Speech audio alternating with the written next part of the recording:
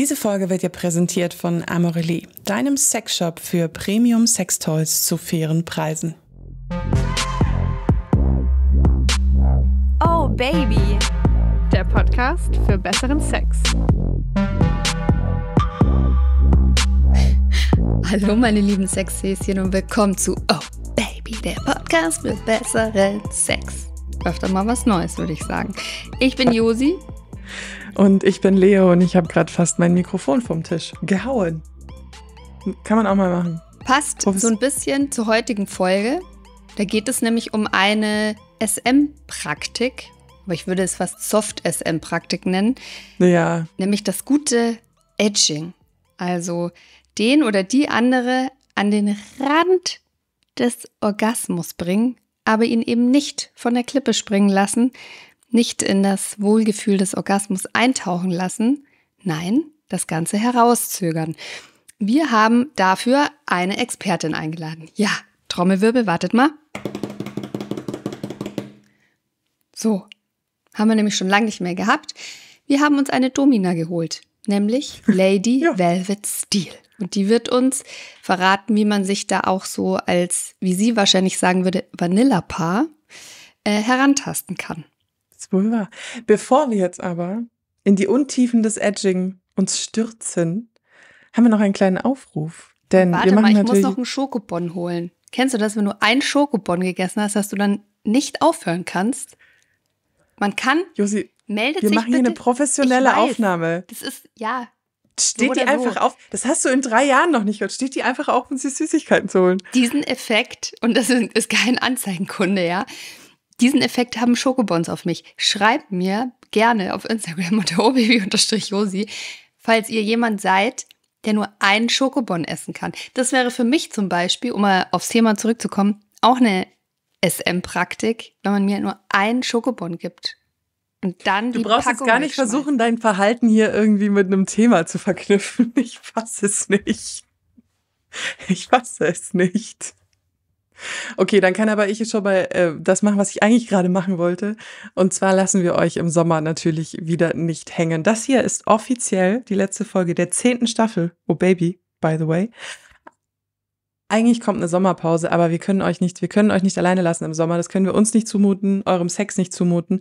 Und deswegen machen wir wieder eine Sommerserie, in denen wir eure Sexgeschichten vorlesen.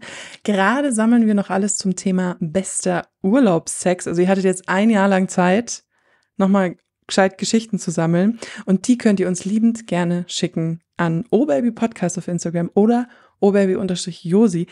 Instagram hat gesagt, ja, wir machen es euch ein bisschen schwieriger dieses Jahr. Die haben irgendwie die Zeichenanzahl total reduziert an Nachrichten, die man schicken kann. Teilt einfach in mehrere Sachen auf. Die meisten von euch haben es so, glaube ich, gehandelt, die Sache einfach auf Word oder bei Notizen im Handy vorgeschrieben und dann in mehrere Nachrichten aufgeteilt, rüberkopiert und geschickt, funktioniert wunderbar.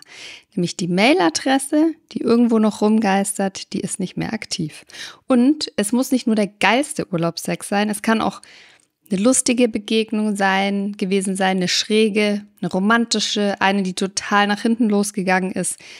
Ähm, einfach gute Urlaubssexgeschichten. Und als Beweis dafür dass ich jetzt wirklich aufgestanden bin, um mir einen Schokobon zu holen. ich esse das jetzt auch. Also red du mal weiter. Okay. Fangen wir mit dem Thema Edging an. Ich finde das Thema total spannend, ehrlich gesagt, also den Orgasmus zu verweigern und dann ähm, ja immer weitermachen und das immer weiter zu steigern und zu steigern und zu steigern.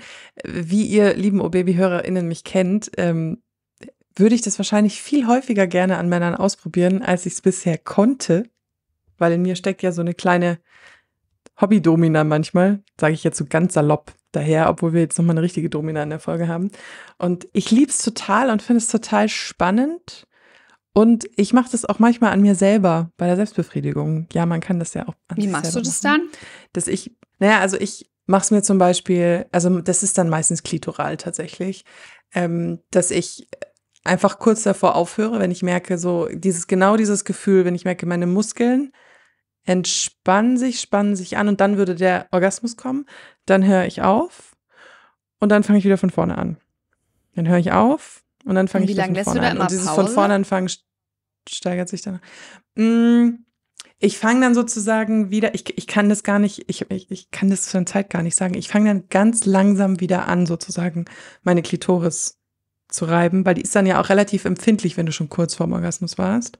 Dann fange ich wieder ganz langsam an, steigere mich hoch und so weiter. Und ich finde das extrem geil, aber wenn ihr mich besser kennt, wisst ihr ja, für mich sind Orgasmen auch gerne so schnelle Dinge. Zum Das heißt, ich mache das tatsächlich nicht super häufig. Aber manchmal habe ich da Bock Aber drauf. fandest du dann der Orgasmus, den du dann hattest nach dem Edging, dass der dann besser war? Also hat sich das rentiert? Ich finde dieses besser und schlechter irgendwie so doof. Er ist anders. Aber ich habe auch die Vorstellung, dass wenn, wenn ich das ständig machen würde, dann würde er auch nicht anders sein. Also ich glaube, er fühlt sich für mich einfach ein bisschen intensiver an und er ist dann auch ein bisschen länger. Aber der Aufwand dahin ist jetzt nicht so, dass, dass ich das in meine wöchentliche, ich mache es mir selber einbauen würde, tatsächlich. Ist es vielleicht auch so, dass quasi der Weg dahin schon das Ziel ist? Also, dass der Weg zum Orgasmus ja auch schon so geil ist, dass man das halt mehr davon haben will. Ja, vor allen Dingen, weil man hat ja auch immer Fantasien im Kopf. Also es gibt ja auch Leute, die, die machen sich selbst ohne Fantasien, aber ich habe da meistens schon immer die Fantasie, dass das jemand anders bei mhm. mir macht. Sozusagen, obwohl ich alleine bin. Und dazu kommt ja dann auch so einfach eine Fantasie, dass da gerade du von jemandem beherrscht wirst und dass der das macht, obwohl man ja eigentlich selber alles in der Hand hat. Aber das finde ich eigentlich ganz geil. Also ja, der Weg ist schon auch ein bisschen das Ziel, das in dem Sinne schon. Schön. Verknüpft das wirklich viel mit, mit Fantasien.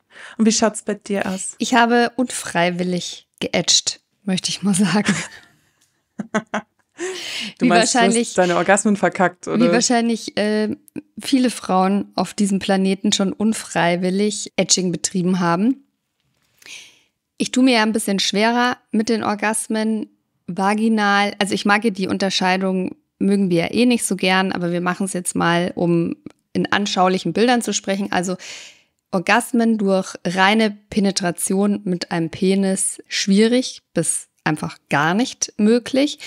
Und auch, ich bin Klittmädchen und aber selbst da ist es nicht so, dass wenn du jetzt ein bisschen äh, oral mit der Zunge da äh, dran rumlaberst, dass ich dann sofort komme, ja. Also das ist schon ein bisschen harte Arbeit. Und mir ist das einfach schon total oft passiert, dass ich zum Beispiel geleckt wurde und dann ich so wirklich kurz vorm Kommen bin. Ich kneife die Augen gerade auch zusammen, so ganz kurz davor. Und der Typ meinen Körper einfach gar nicht lesen kann und meine Körpersprache und mein Stöhnen auch nicht. Ähm, mhm.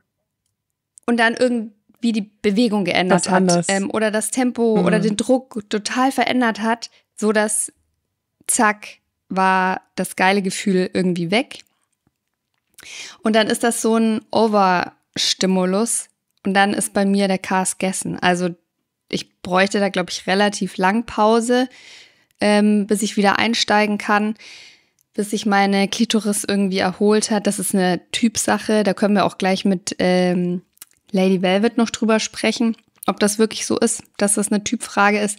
Aber also wenn der bei mir einmal so kurz davor verreckt ist, dann wird das nichts mehr. Wurde bei dir schon mal so ein bisschen in diesem Soft BDS oder Soft SM Kontext, also mal mit ein bisschen Fesseln und vielleicht mal mit einer soften Peitsche oder was auch immer oder Handschellen. Wurdest du schon mal in so eine Situation gebracht, wo du irgendwie gefesselt warst in irgendeiner Art und sowas wie Edging an dir betrieben wurde? So eine Orgasmusverweigerung oder so eine Stimulationsverweigerung? Und wenn ja, fand es geil? Äh, nein, wurde nicht. Fände ich vielleicht geil, aber habe ich so noch nicht erfahren, weil die meisten Männer, mit denen ich in der Vergangenheit Geschlechtsverkehr hatte, ich sage das jetzt, und das tut mir auch irgendwie leid, aber gleichzeitig auch nicht, gar nicht äh, das Skillset gehabt hätten, um, um meinen Orgasmus ja. so zu kontrollieren weißt du? Also ich habe in der Vergangenheit, ähm, du weißt das ja, oder liebe Hörer, liebe Hörerinnen, ihr wisst das, weil ihr hört ja regelmäßig zu. Ich habe in der Vergangenheit einfach sehr oft sehr schlechten Sex gehabt, wo Männer hauptsächlich irgendwie reingehalten haben oder auf sich geguckt haben und dann so ein, ja, jetzt mal so ein bisschen hier rumgeleckt, damit ich nicht so ganz als Egomane rüberkomme.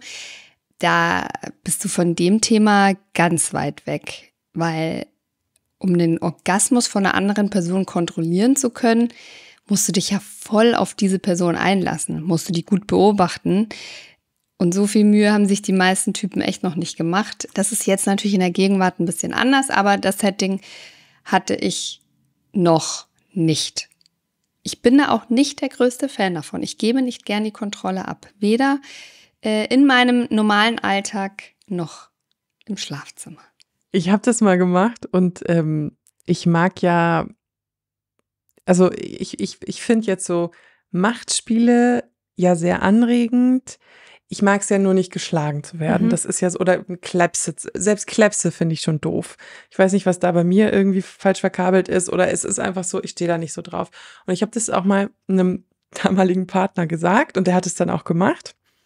Und ich lag auch, ich glaube, meine Füße waren nicht gefesselt, aber meine Arme waren oben an diesem Bettgestell gefesselt.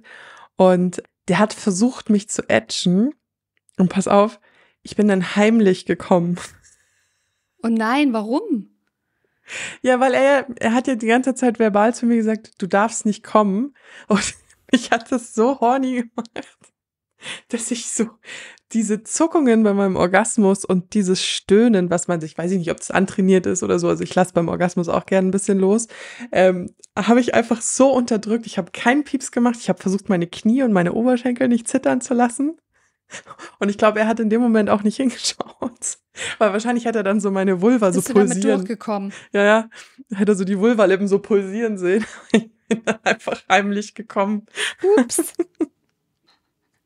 Tut mir also, das geht auch. Jetzt kann man natürlich ihm vielleicht vorwerfen, dass er das nicht, dass er, wenn er mich gut genug gekannt hätte, das gesehen hätte. Aber, mei. Ich finde das ganze Thema ja ehrlich gesagt total spannend, weil ich glaube, dass in vielen von uns das schon schlummert. Ähm, so ein bisschen SM, dass man das auch mal ausprobieren will. Und ich verbinde das nicht immer damit, dass man jemand anderem Schmerzen zufügen will, also schlagen oder so. Das muss auch nicht immer jemand festgebunden werden. Aber diese Machtspiele und obwohl ich nicht die, gerne die Kontrolle abgebe, mag ich diese Machtspiele schon ganz gerne. Und ich glaube, dass Etching ähm, deswegen auch so trendet, wenn man so ein bisschen sich im Internet umguckt, weil das so ein guter Einstieg in dieses Thema ist. Weil du brauchst im Grunde eigentlich keine Accessoires, du brauchst, kein, du brauchst keine Fesseln, keine Augenbinden, keine Peitschen, sonst irgendwas. Du musst niemandem wirklich wehtun.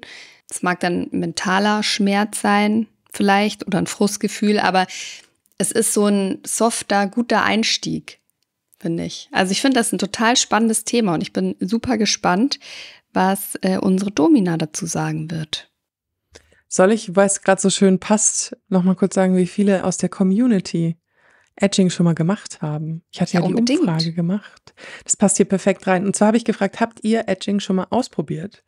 Und ich habe ihnen vier Antworten gegeben. Ja, nur an mir, an mir und an anderen, nur an anderen oder nein, überhaupt nicht. Es haben über 2200 Menschen mitgemacht.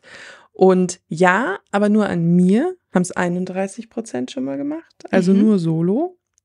An mir und an anderen 33 Prozent, auch sehr viel. Nur an anderen 10 Prozent und mhm. überhaupt nicht 26 Prozent.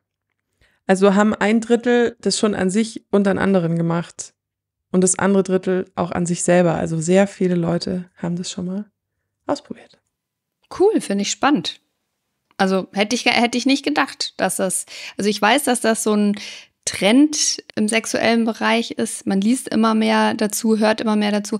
Aber dass es dann doch so viele schon gemacht haben, finde ich, ja, überraschend. Aber ihr lernt jetzt bestimmt trotzdem noch mal was dazu, wenn wir unsere Domina dazu hören. Und zwar können wir das ja jetzt mal machen. Die wundervolle Lady Velvet Steel aus dem Studio Lux in Berlin. Ein ganz kurzes Hallo von mir aus dem Schnitt. Wir hatten leider ziemliche Probleme mit der Tonspur von Lady Velvet Steel. Deswegen klingt die ein bisschen dumpf. Ich habe mein Bestes getan, was ich in der Post-Production rausholen konnte. Ich bitte um Verzeihung oder wir bitten um Verzeihung. Bleibt unbedingt dran an das, was Lady Welbets dir gesagt hat, war wirklich wundervoll. Und wie hat Josi gestern so schön gesagt, man gewöhnt sich auch irgendwann dran. Hallo und schön, dass ihr mich habt. Um dich kurz mal vorzustellen, du bist eine, ich fand den Begriff so lustig, klassische Domina. Kannst du mal ganz kurz erklären, was eine klassische Domina ist? ja, dann steigen wir gleich mal tief ein in ähm, SM-Marketing für Profis in Deutschland. die klassische Domina ist das, was man sich, ich würde mal sagen, 1980 unter einer Domina vorgestellt hat. Unberührbar, keine sexuelle Dienstleistung an der Domina selbst, so dass über das Küssen der Füße oder das zarte Berühren des Oberschenkels hinausgeht, wenn es mal ganz dolle wehtut. SM, das wisst ihr sicherlich auch und habt ihr mit Sicherheit auch schon besprochen, ist ja ein ganz breites Spektrum und Sexualität gehört für viele Menschen da auch mit rein.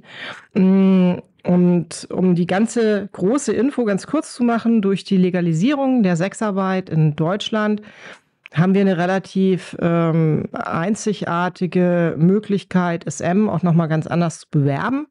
Und es brauchte dann irgendwann mal so eine Möglichkeit, auch diesen mehr erotischen SM darzustellen. Und so hat sich sozusagen die Bizarre Lady oder die bizarre Dienstleistung entwickelt also SM mit irgendeiner Form von Sexualität verbunden, wo beide Beteiligte irgendwie sexuell miteinander sind. Und die traditionelle, die klassische Domina, das ist äh, der Bereich, in dem ich mich eher zu Hause finde. An mir kannst du keine sexuellen Dienstleistungen buchen, außer mich überkommt es gerade in der Session und ich habe Lust und es passt für uns beide, aber das gehört nicht zu meinem käuflichen Angebot. So, das ist so ganz kurz zusammengefasst. Ach, voll spannend. Vielleicht müssen wir noch mal eine Folge über Dominos Kann ich nur empfehlen. Total spannend. Ich wusste das gar nicht. Wir haben dich ja auch eingeladen, um mit dir über das Thema Edging zu sprechen. Wie oft begegnet dir das denn in deiner Praxis? Also wie oft wird das verlangt? Ist das quasi dein täglich Brot oder eher eine Seltenheit? Also es kommt schon häufiger vor, dass es auch in Sessions angewendet wird. Also das ist jetzt nicht immer nur so, dass du so einen Katalog hast, wo du sagst, heute machen wir Etching und ein bisschen CBT und ein bisschen Ballbusting, ein bisschen Fesseln und so. Und daraus erstelle ich eine Session, sondern die Sessions funktionieren sehr viel nach, wer bist du, warum kommst du zu mir, was möchtest du gerne erleben? Und daraus kreieren wir dann quasi ein Szenario. Und da kann natürlich Etching auch Teil davon sein. Ähm, ich würde schon sagen, es gehört zu den üblicheren Techniken, die öfter vorkommen und nicht so außergewöhnlich sind. Etching an sich ist ja das bis kurz vor den Orgasmus bringen, aber den Orgasmus nicht gönnen und fällt dann unter dieses ganz große Thema Orgasmuskontrolle. Und diese Kontrolle oder den Verlust der Kontrolle und diese Macht abgeben an eine andere Person ist ja sozusagen unser täglich Brot. So, das ist ja so ein bisschen die Fantasie, wenn man zu einer dominanten Person in die Session geht und hat da oft den Platz als explizites, mach mal nur eine Stunde Acting mit mir, das ist eher selten, weil das muss man auch vom Stamina her aushalten, aber in Sessions wird es oft angewendet. Uns hat ein Hörer geschrieben und ich musste bei der, bei der Folge extrem schmunzeln, weil er hat einfach nur die Frage geschrieben, wieso macht man das? Und ich fand das eine ganz lustigen, ganz lustige, so eine, so eine, einfach nur so eine naive Frage, die ich dir gerne stellen würde. Was würdest du darauf antworten, wenn ich jemand fragen würde, warum macht man das, dieses Edging? Manche Leute finden es total spannend, die Kontrolle über ihre eigene Sexualität abzugeben und gerade so über diese Kontrolle der Lust, das rauszuzögern. Man möchte kommen, man möchte jetzt unbedingt einen Orgasmus erleben und dann geht es nicht, weil die Person lässt einen nicht. Die Lust wird aber immer weiter aufgebaut und dann steigert sich das immer mehr. Das heißt, durch dieses Versagen dieses finalen Abschlusses können wir entweder mehr Lust gewinnen, schaffen Andererseits können wir natürlich auch ähm, sozusagen das als Foltermethode einsetzen. Du möchtest jetzt unbedingt, aber ich lass dich nicht. Und das kann so weit gehen bis zu einem sogenannten ruinierten Orgasmus, ähm, dass ich das Etching so lange und so weit äh, herauszögere, dass irgendwann ein Orgasmus auch physisch gar nicht mehr richtig möglich ist oder sich einfach nicht mehr so gut anfühlt, weil diese ganzen Hormone, dieses ganze Gefühl sich schon komplett irgendwie äh, verbraucht hat. Und ja, das finden Leute spannend. Machtaufgabe, äh, Luststeigerung, so, das sind so die großen Punkte. Ich habe ja auch gelesen, dass man, wenn man, wenn man durch das Etching, dass die Orgasmen, die man dann hat, dass die viel äh, intensiver sind. Ka erlebst du das bei deinen Kunden auch? Ja, durchaus. Also diese Steigerung des Lustgewinns ist auf jeden Fall großer, großer Punkt.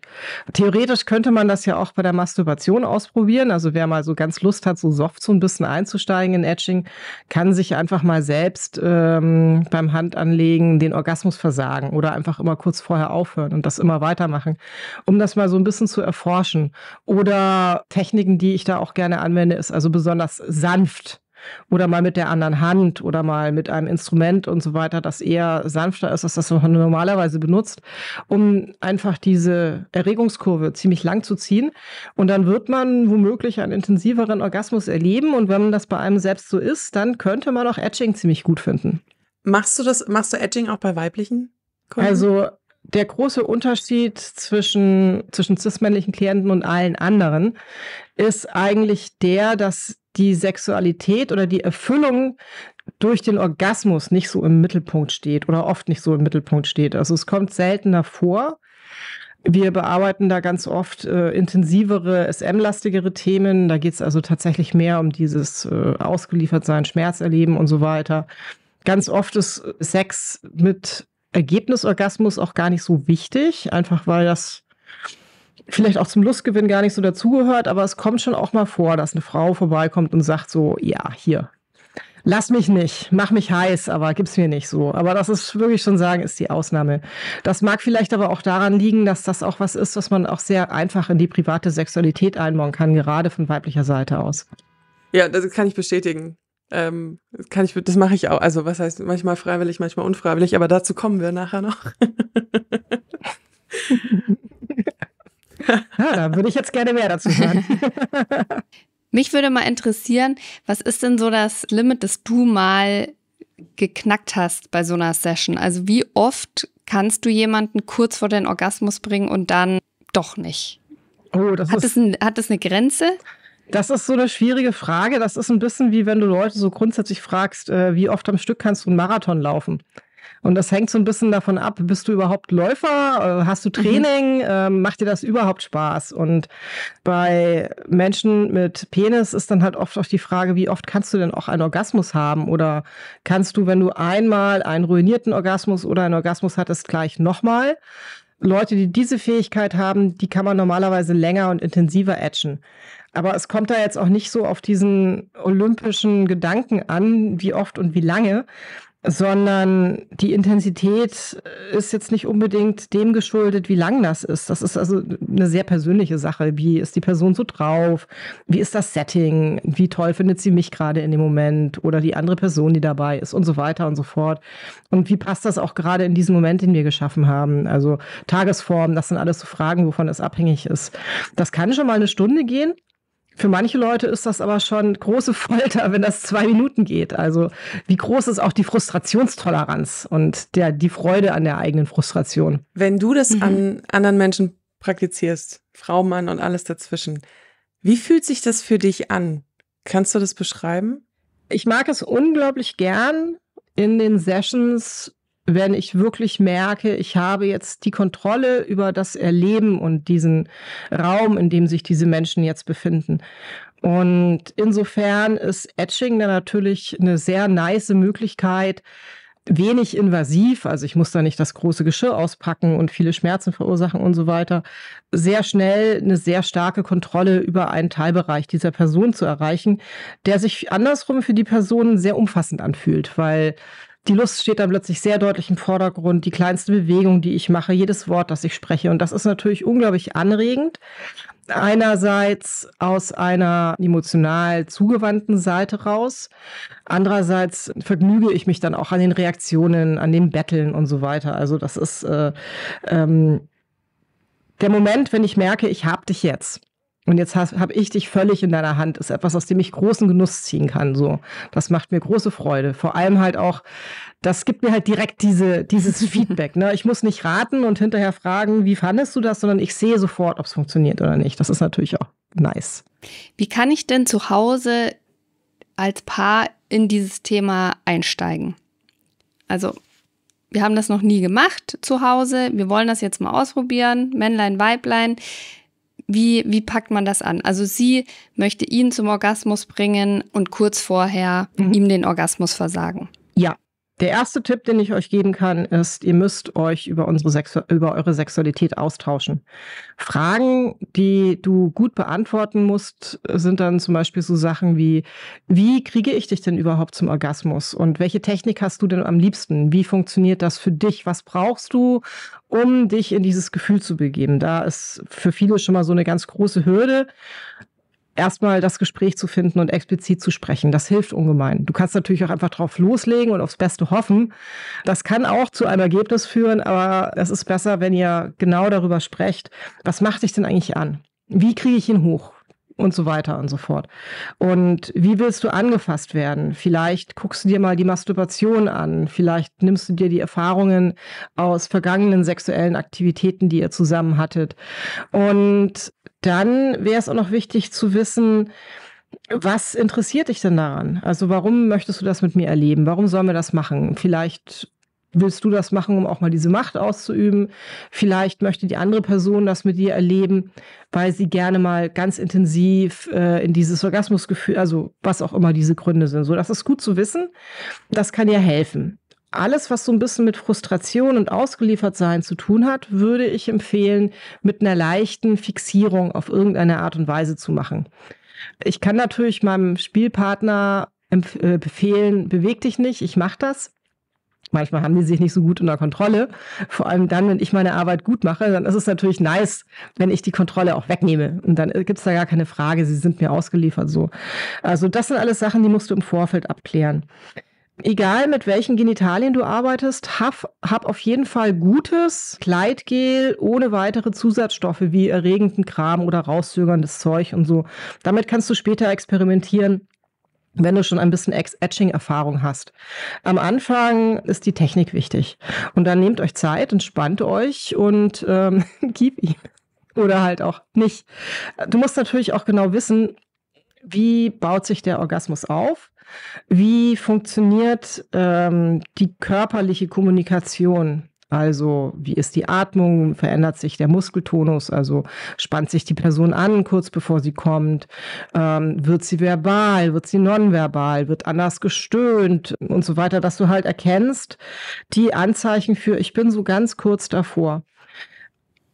Am Anfang wird dir wahrscheinlich auch passieren, dass die Person dann zu schnell kommt und du wolltest das eigentlich noch gar nicht. Das ist einfach so, das sind dann so Mikroanzeichen, die man sich erstmal aneignen muss. So das kleine Pulsieren im Skrotum und so weiter, äh, wie der Schwanz sich verändert, ein bestimmtes Zucken, eine bestimmte Atmung und so.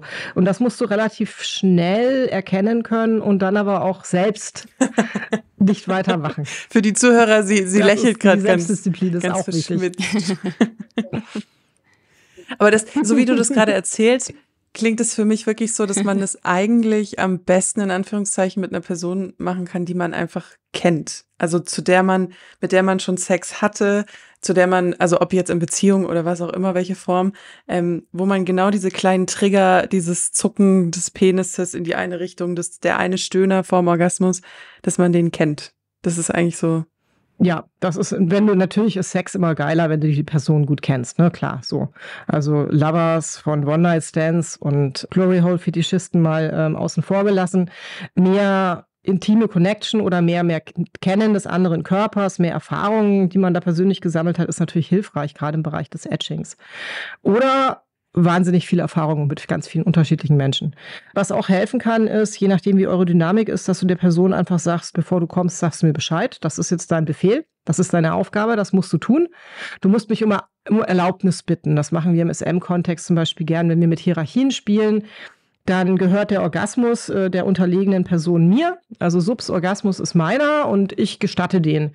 Und dazu gehört, dass ich dich betteln lasse zum Beispiel oder äh, du um Erlaubnis fragst. Dann habe ich natürlich einen verbalen Cue, der ein bisschen deutlicher ist. Ist aber noch mal eine andere Dynamik, als wenn ich komplett die Kontrolle übernehme und das alles selbst entscheide. Weil durch den Cue, den ich von der anderen Person verlange, ähnlich wie ein Safe-Wort, zwinge ich die Person natürlich auch immer dazu, präsent zu sein und Feedback zu geben. Vielleicht möchte ich sie ja auch in einer Situation haben, in der das Feedback gar nicht mehr so einfach zu äußern ist, weil die Geilheit viel zu groß ist zum Beispiel. Und da ist natürlich auch gut, wenn ich das schon mal erfahren habe, wie das funktioniert. Aber du kannst auch gute Erfolge haben mit einer ganz unbekannten Person, wenn du sehr aufmerksam bist und viel grundsätzlich über körperliche Orgasmen weißt. Also Übung macht die Etching-Meisterin. Das ist jetzt vielleicht eine bisschen schwierige Frage, aber was ist denn der perfekte Zeitpunkt, um aufzuhören? Ist das so, so ein Mikrosekündchen, bevor die andere Person kommen würde, oder, oder höre ich schon viel weiter vorne auf? Also viel früher. Wenn ich einmal, also wenn ich wenig Zeit habe für das Etching oder nur einmal den Orgasmus versagen und dann wenden wir uns was anderem zu, dann würde ich wirklich bis ganz kurz vor knapp an der Kante warten und hoffen, dass ich den Punkt erwische. Wenn ich eine längere Etching-Session habe, dann fange ich höre ich die ersten Male viel früher auf. Das heißt, ich baue die Intensität auch immer mehr auf.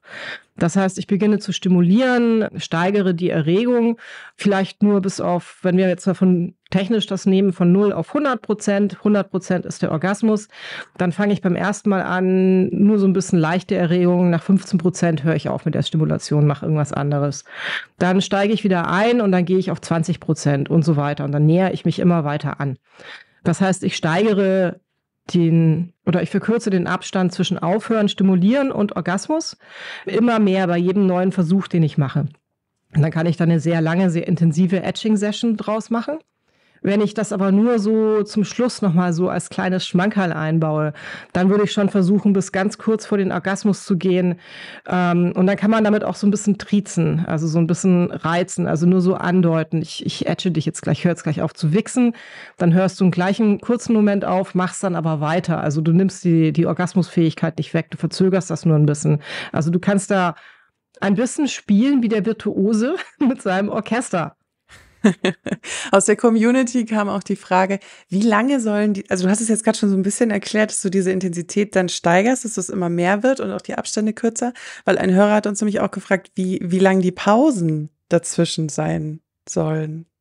Zwischen diesen Attempts zum Orgasmus und dann davor aufzuhören. Da gibt es wahrscheinlich auch keine eine, Antwort, sondern es ist so ein bisschen, wie viel Macht man ausüben will, wahrscheinlich, oder? Ja, also wenn du jetzt äh, möchtest, dass ich äh, sozusagen so einen Sekundenchart habe mit Stoppuhr und dann kannst du dir die Uhr stellen und piep, piep und so, damit kann ich dir nicht dienen, außer du hast einen Turnlehrerfetisch. Ich würde sagen, das Wichtige ist, ist, dass du wirklich ähm, den Körper deiner Partner gut kennst. So. Weil das gibt den Auskunft. Also, ne, wenn ich sage im Vorfeld, du musst zum Beispiel wissen, kannst du nach einmal Orgasmus gleich wieder sexuelle Handlungen ausführen oder musst du erstmal komplett Abstand nehmen? Ist der Orgasmus sehr intensiv oder eher leichter und baut sich mit der Zeit, je nach der Anzahl der Orgasmen auf und so weiter? Das gibt dir alles Auskunft darüber, wie lange Zeit du für die Erholungsphase brauchst. Also, wenn ich wieder mit meiner 0 bis 100 Prozent Kurve ankomme, ich etche sozusagen bis 90 Prozent, dann versage ich den Orgasmus. Je länger ich warte, umso mehr Stimulation muss ich wieder reingeben. Wenn ich zu lange warte, komme ich irgendwann in diesen, die Erregung ist jetzt grundsätzlich für mich vorbei, die Frustration setzt ein, Zone. Dann habe ich zu lange gewartet. Das hängt aber sehr davon ab, wie, was spielt ihr gerade? Wer ist da gegenüber? Wie funktioniert die Sexualität? Wie passt das irgendwie so rein? Es sind vielleicht andere Methoden der Stimulierung da. Wenn ich jetzt irgendwie noch Elektropads an andere Körperstellen klebe, die auch weitermachen, vielleicht steckt auch irgendwas im Hintern, das vibriert oder so und andere Stimulationen passiert, dann muss ich wahrscheinlich eine längere Pause machen, als wenn es wirklich nur um die Handarbeit geht. Ich finde es das gut, dass du das gerade angesprochen hast mit dem vibrierenden Toy im Hintern, weil ich mich auch gefragt habe, was macht man denn in dieser Pause? Wenn man jetzt nicht wie du vielleicht da so ein gut ausgerüstetes Studio zur Verfügung hat und nicht ganz so viel Erfahrung hat, da sitzt jetzt äh, Anna und Peter sitzen dann auf ihrem Bett und jetzt hat sie zu wichsen aufgehört und dann was nu?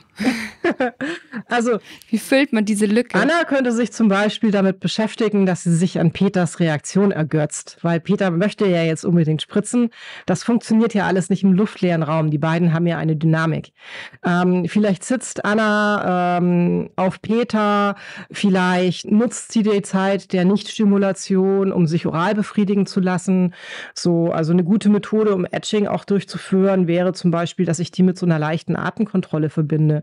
So nach dem Motto, ich äh, wichse dich nur, solange ich auf deinem Gesicht sitzen kann. Sobald du aber Luft brauchst, höre ich auf zu wichsen. So, dann haben wir so eine klassische Prädikamentsituation, ne? Will ich atmen oder will ich stimuliert werden? So, irgendwann muss ich mich natürlich fürs Atmen entscheiden. und dann ist natürlich schon ganz klar, weil du bist damit beschäftigt, Sauerstoff zu bekommen, während ich dich nicht stimuliere. Ich erzähle dir, wie geil du mich gerade geleckt hast, zum Beispiel. Also du kannst natürlich dann auch Dirty Talk einbauen. Man muss sich da so ein bisschen davon verabschieden, dass das so ein ganz klinisches Setting ist, dass der Patient auf dem Bett liegt und ich sitze da daneben in meinem Labcoat mit meiner Stoppuhr und einer Überwachungskamera und dann wird da hier so nach, nach, nach Checkbook irgendwie gemacht und dazwischen sitzen wir da und drehen Däumchen. Das kann erotisch sein, wenn klinisch dein Fetisch ist und du gerne ein Testobjekt sein willst. Aber ihr macht ja auch Sachen zusammen. Sei ein bisschen kreativ. Man könnte Leuten auch dazwischen den Fuß in den Mund stecken oder ne, sich selbst in der Zwischenzeit ein wenig befriedigen, weil warum sollst nur du den Spaß haben? Ich sitze doch hier auch und möchte ein wenig davon abhaben. Kann man Edging, wir haben jetzt für Edging immer diese, diesen, also diese Szene, einen runterholen benutzt. Kann man Edging ja theoretisch aber auch mit einem Blowjob betreiben oder mit einer Prostatamassage anal? Das ist ja eigentlich das gleiche Spiel letztendlich, oder? Im Prinzip kannst du das auch direkt beim äh, Geschlechtsver also bei aller Art von Penetration natürlich auch ganz genauso machen. Also egal wie, es ist jetzt nicht immer nur die Handarbeit. Das kommt bei mir als klassischer Domina halt ganz, ganz oft vor. Deswegen ist mir das sehr präsent. Aber du hast vollkommen recht. Natürlich, Blowjob, ähm, alles, wo du irgendwie damit beschäftigt bist, eigentlich einen Orgasmus zu verursachen und dann halt entsprechend das rauszuzögern, funktioniert. Meiner Erfahrung nach ist die Prostata-Massage nicht ganz so gut geeignet, weil sich der Orgasmus wesentlich langsamer anschleicht, aber dann wesentlich breiter stattfindet.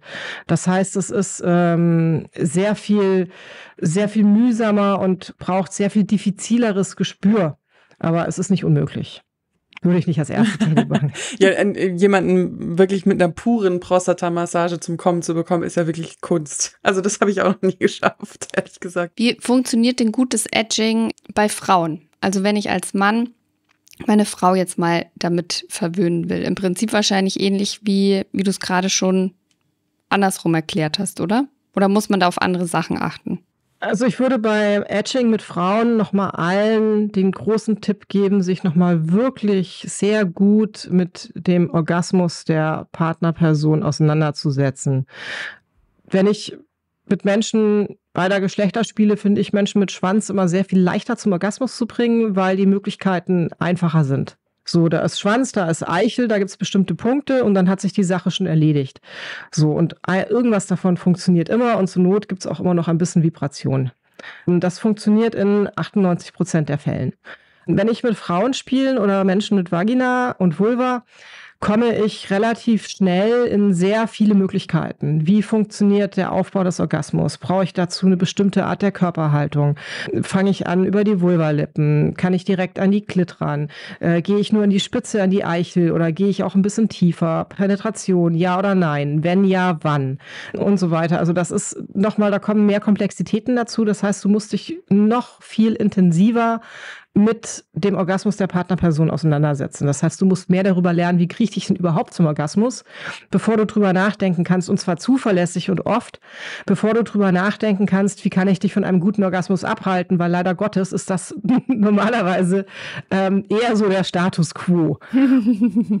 Sehr wahr, leider sehr wahr. Weil ich, mich frustriert das ja. Also ich glaube zum Beispiel, Edging ist überhaupt gar keine Technik für mich, weil für mich ist es wahnsinnig schwierig, überhaupt zum Orgasmus zu kommen. Und wenn ich mir vorstelle, die wenigen Male, dann muss ich eh schon drauf verzichten oder wird mir dann das auch noch vorenthalten. Ähm, ich glaube, ich würde ausflippen. Ja. Not in ja, a das good ist way. Der Punkt. Not in a good way, ja. Das haben uns ein paar Leute geschrieben, ein paar Männer, aber auch viele Frauen. Und zwar, und ich kenne das auch, dass man sich das so lange verweigert, bis man dann nicht mehr kommen kann. Also gar nicht mehr. Dieser, das ist mhm. ja dieser versaute Orgasmus. Ja. Wie kann man das ja, ja. verhindern, wenn das nicht sein Ziel ist? Also die muss man einfach auf seinen eigenen Körper mehr hören, wenn man es sich jetzt selber macht, dass man nicht in diese Überstimulierung reinkommt? Oder hast du da irgendwie Tipps oder so ein Erfahrungen mit? Ja, du hast es im Prinzip schon gesagt. So, du musst natürlich auf deinen Körper achten und im Zweifelsfall kommst du halt auch einfach irgendwann mal. Also gönn dir. Aber das ist halt auch so eine Sache, du weißt halt erst mitunter aus, äh, durch die Erfahrung, was ist denn eigentlich zu viel. Und dann musst du erstmal feststellen, also du musst erstmal feststellen, ob dir ruinierte Orgasmen überhaupt liegen oder nicht. Wenn du die doof findest, würde ich sagen, dann geh mal langsamer ans weitere Edging und lass dir auch mal einen Orgasmus zu.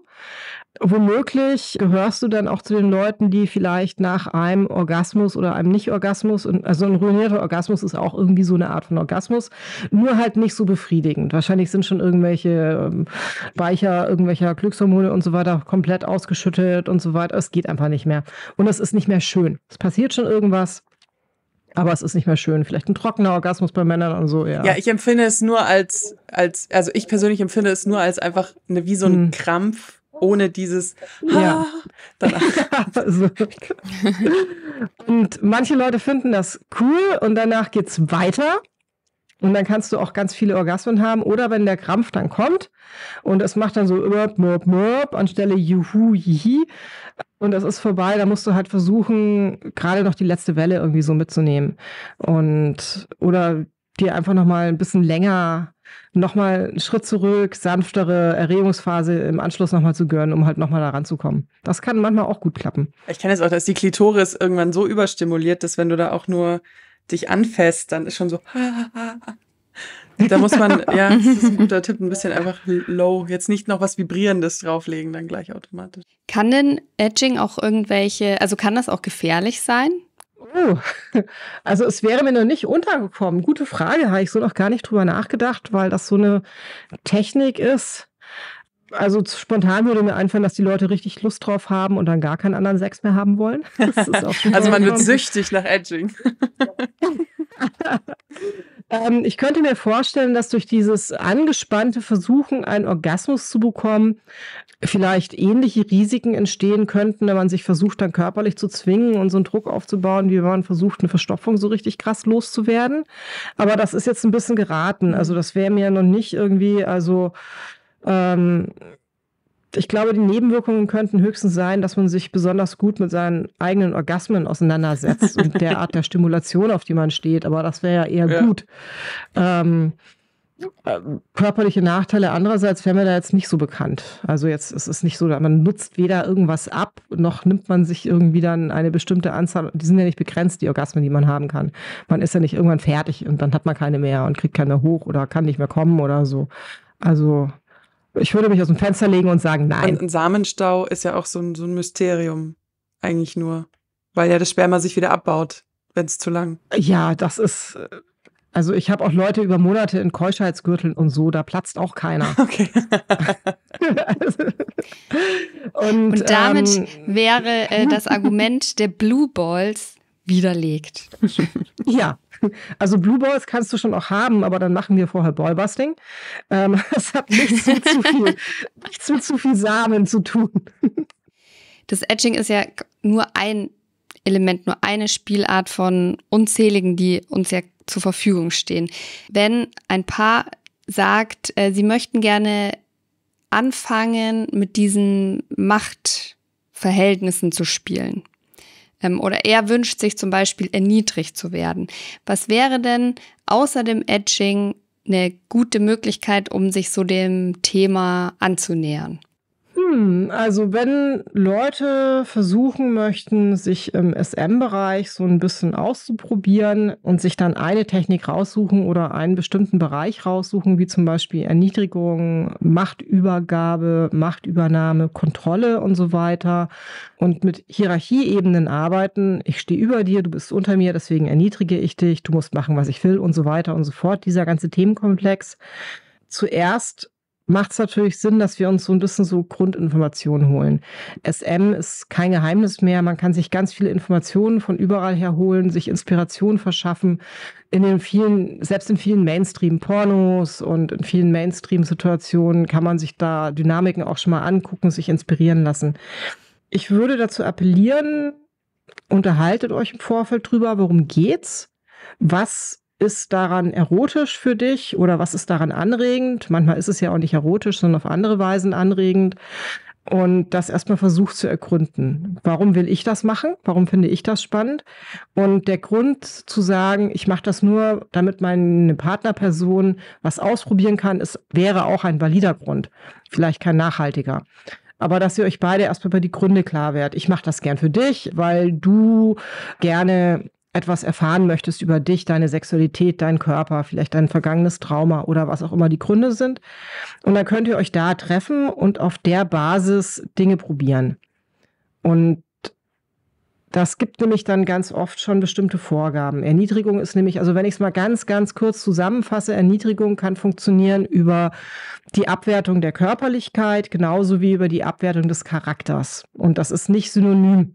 Manche Leute finden es unglaublich großartig, zum Beispiel für ihre angebliche oder tatsächliche körperliche Unzulänglichkeit beschimpft zu werden ich sage da als Stichpunkt äh, Kleinschwanz-Humiliation, ähm, also die Erniedrigung des kleinen Schwanzes. Und dabei ist es normalerweise völlig wurscht, wie groß der tatsächlich ist. Das ist natürlich der Kick dahinter, so du bist ungenügend und ich sag dir das. Und daraus, aus dieser Scham, die da erzeugt wird, suchst du Befriedigung oder findest du Befriedigung. Das ist was anderes, wenn ich jemand anderen dafür fertig mache, weil er als Person einfach ganz grässlich und grauenhaft ist. Zum Beispiel, weil ich den Nachbarn im Rollenspiel in Anführungsstrichen.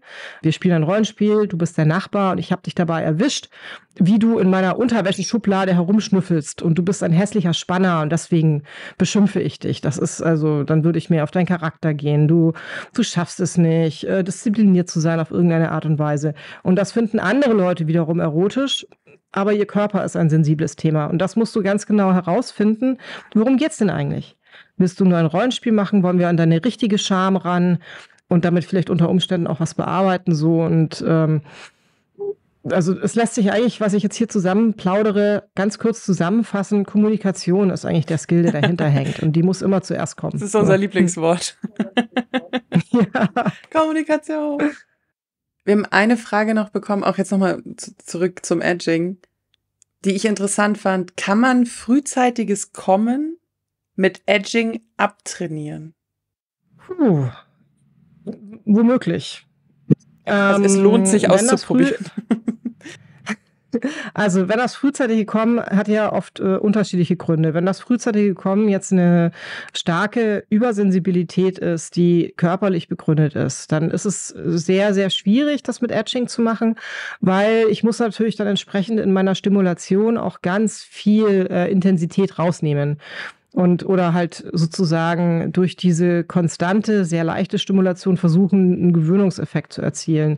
Wenn das zu früh kommen, jetzt aber mit meiner Psyche zusammenhängt und durch die Aufregung und die ähm, mein äh, Verhalten während der Sexualität und äh, wie es mir grundsätzlich so geht und ich einfach dann plötzlich, oh Gott, ich halte es nicht mehr aus, das macht mich alles so geil. Wohin nur mit dieser ganzen Emotion, schwupps, spritzt es aus mir heraus.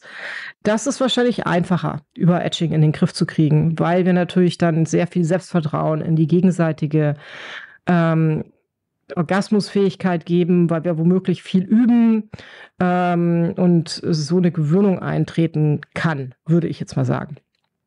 Also lohnt sich auf jeden Fall auszuprobieren. Oh, eine Frage habe ich noch zum Abschluss. Eine Frage habe ich noch. An dir wird ja nichts praktiziert als klassische Domian, das hast du anfangs ja erzählt. Aber praktizierst du Edging auch bei dir selber? Und wenn ja, gibt dir das hm. irgendwas hm. oder sagst du, ach, ich mache das so oft im Job, lass mich allein. Also ähm, zu meiner privaten Masturbation gehört es jetzt nicht unbedingt so als Standardtechnik dazu, aber kommt schon auch mal vor. So nach Lust und Laune, aber eher selten, weil meine Masturbation ist eher sehr zielorientiert dadurch, dass ich halt auch viel mit Sexualität sonst zu tun habe und auch ein sehr aktives Sexleben, wenn es dann um meine eigene Befriedigung geht, äh, in der eigenen Masturbation, dann habe ich dann Bock so, jetzt möchte ich gerne einen Orgasmus. Und wenn fertig aus. So. Aber es kann durchaus schon mal vorkommen und das ist natürlich auch super nice. Also du, du sagst das schon richtig, ist lustig, ne? Macht schon Freude, aber es ist natürlich auch nochmal anstrengender. Und ansonsten habe ich durchaus auch manchmal den Hang dazu, Sexualität auch rauszuzögern und äh, dass wir lange die intime Zeit sehr schön miteinander verbringen können. Und das geht dann schon so in die Richtung Edging. Also da geht es dann eben nicht sofort irgendwie, wir suchen jetzt eine Befriedigung und zwar so schnell wie möglich, sondern wir möchten jetzt möglichst lange miteinander spielen. Und wenn ich mit meinen privaten Subs zum Beispiel spiele, also ein äh, Partnermensch von mir steht zum Beispiel sehr auf Mumifizierung und äh, äh, verpackt zu sein und sich nicht bewegen zu können. Und natürlich sorge ich dann dafür, wenn wir zusammen spielen, dass der Schwanz greifbar ist, an dem ich mich dann auch immer sehr gerne bediene. Und das kann ich dann natürlich, da kann ich natürlich dann auch meinen Körper sehr schön zum Etching einsetzen. Also äh, für seinen Orgasmus, meinen gönne ich mir. Großartig. Vielen Dank, äh, liebe Velvet, für diese ähm, anregenden Einblicke. Ich hoffe, unsere Hörer und Hörerinnen haben da ein bisschen was für sich mitgenommen. Ich fand es super spannend. Wir verlinken alle Infos zu dir in den Shownotes, wenn ihr lieben HörerInnen mal gucken wollt, was die Lady Velvet Steel so macht und euch das interessiert. Da ähm, führen wir euch in die richtige Richtung. Versprochen. Genau. Und ähm, ja, mega danke, mega danke, mega großes Danke, dass du dir Zeit genommen hast. Und ja, danke schön, dass ihr mich hattet und äh, mir so aufmerksam zugehört habt. Und äh, ich hoffe, ihr Hörerinnen habt auch alle Spaß damit. Unbedingt. Das war doch jetzt ein gutes Gespräch. Schön. Ich mag unsere Gäste. Ich will jetzt unbedingt mal eine Folge mit Dominas aufnehmen. Wir haben immer gute Leute hier. Ja, bis auf einen und von dem reden wir nicht mehr. uh, könnt ihr ran. Ja, aber schreibt uns mal, ob uh. euch mal eine Folge uh. mit einer Domina interessiert und was ihr so für Fragen hättet, also was, was euch, äh, was euch da interessiert und alles. Wir sind ja jetzt an der Quelle. Aber jetzt rollen wir, würde ich sagen, der guten, geilsten Community der Welt ähm, mal den roten Teppich aus, nämlich euch, ja.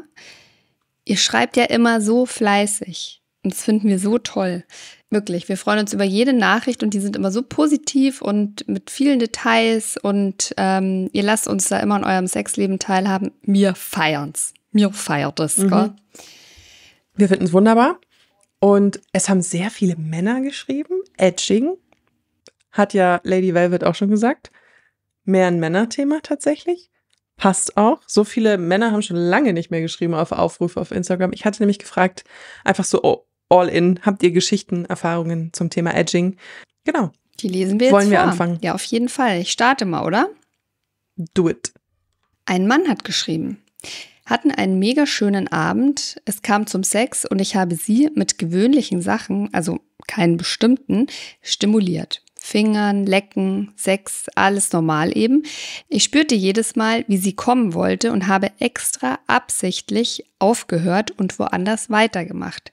Beim Fingern aufgehört und an der Brust weitergemacht. Beim Lecken aufgehört und am Bauch und an den Innenschenkeln geküsst beim Sex rausgezogen und normal geküsst und als sie dann langsam verzweifelt war, habe ich beschlossen, es bis zum Höhepunkt zu treiben und sie war so erregt und geil darauf zu kommen, dass sie sämtliche Hemmungen losließ und alles aus ihr rauskam. Geräusche, Flüssigkeiten, Gefühle und so weiter.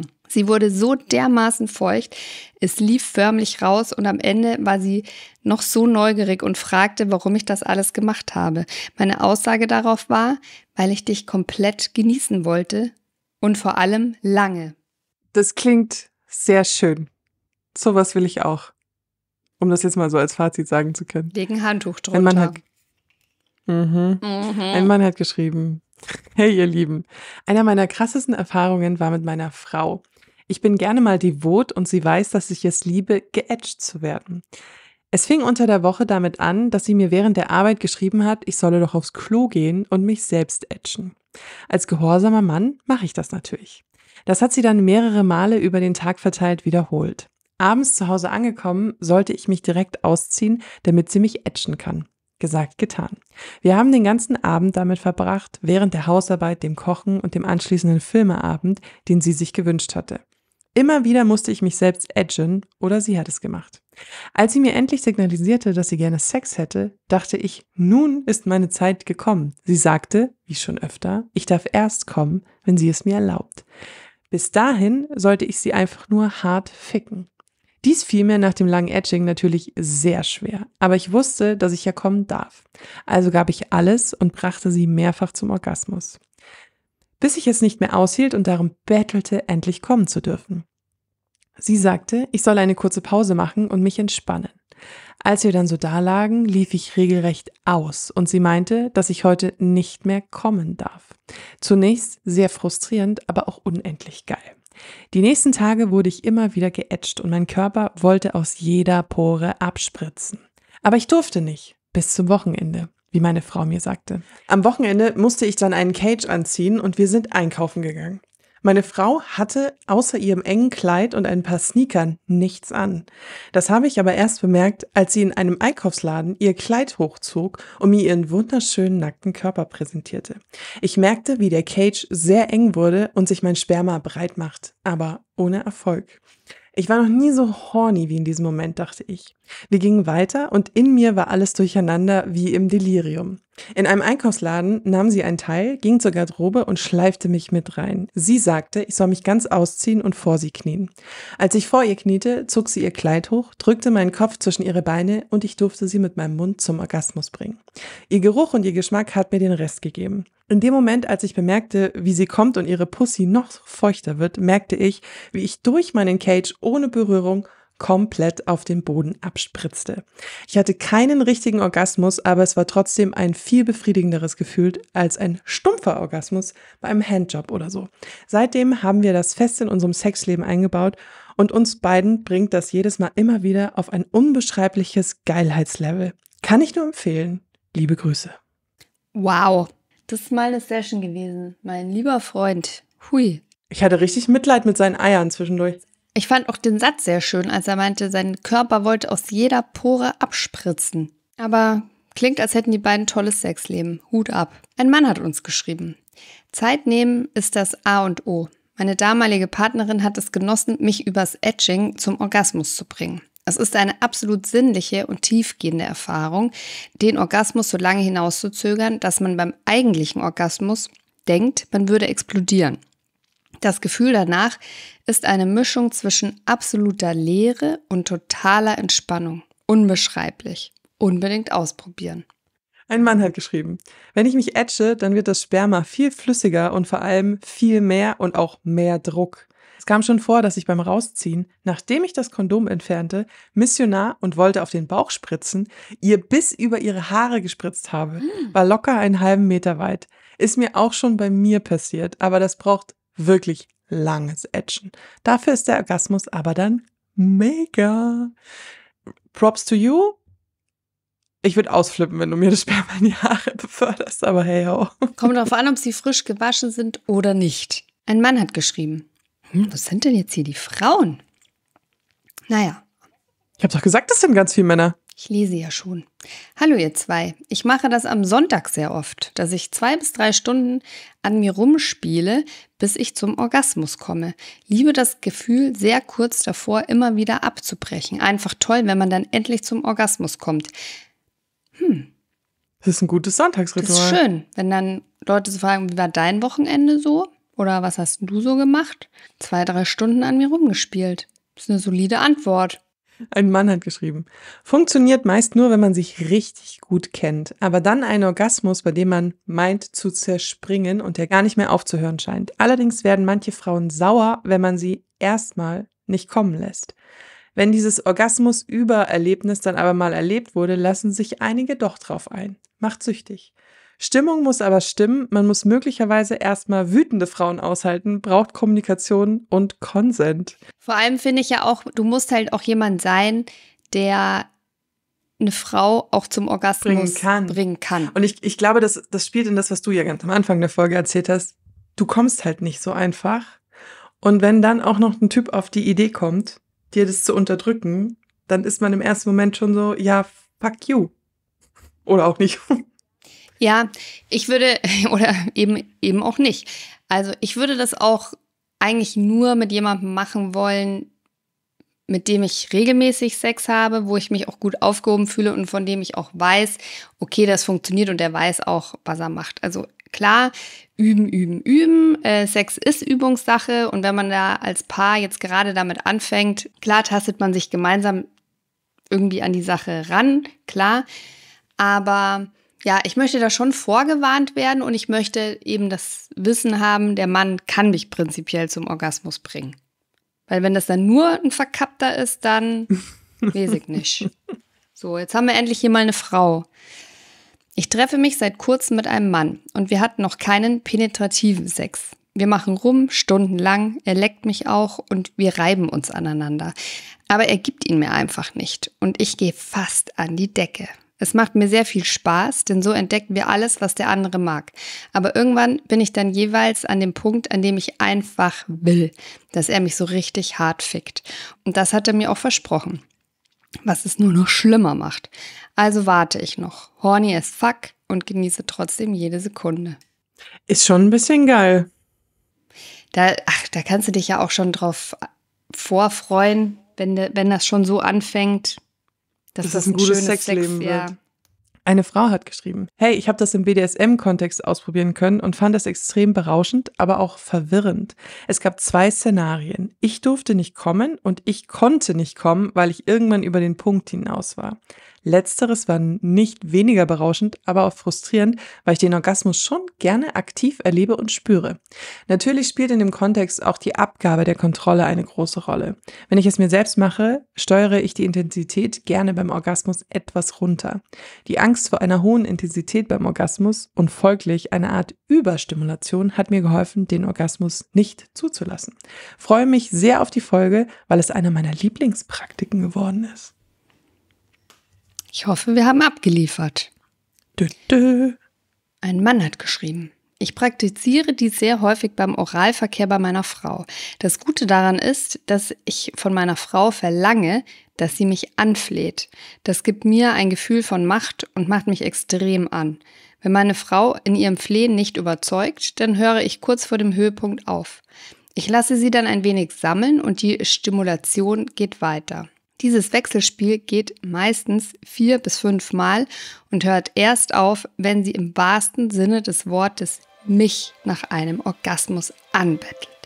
PS, wenn meine Frau gleich heimkommt, dann denke ich, lasse ich sie wieder betteln. Uh. Ach, das hat Spaß einfach, gemacht. Ja, auf jeden Fall. Ähm, und wenn euch das Spaß macht, dann hört doch nächsten Mittwoch wieder rein. Ihr findet uns auf Spotify, Apple, Podcast, Deezer, YouTube, allen gängigen Plattformen. Wir kommen immer mittwochs. Einmal mit einer langen Folge, so wie dieser hier. Da haben wir manchmal auch Experten am Start. Ähm, und in der Woche drauf gibt es dann ein Quickie. Da beantworten wir Fragen, die uns Hörer oder Hörerinnen geschickt haben. Und zwar auf Instagram unter obabypodcast oder mir direkt unter obaby-josi. So geht es dann wieder im September weiter. Jetzt kommt ja aber erstmal die Sommerpause liebe Josi. Jetzt kommt Euren unsere Sommergeschichten.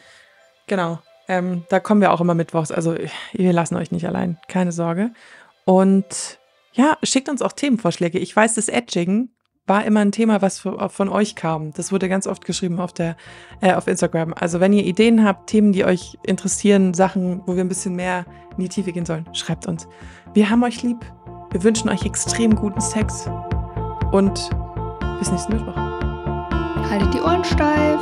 Tschüssi. Oh yeah.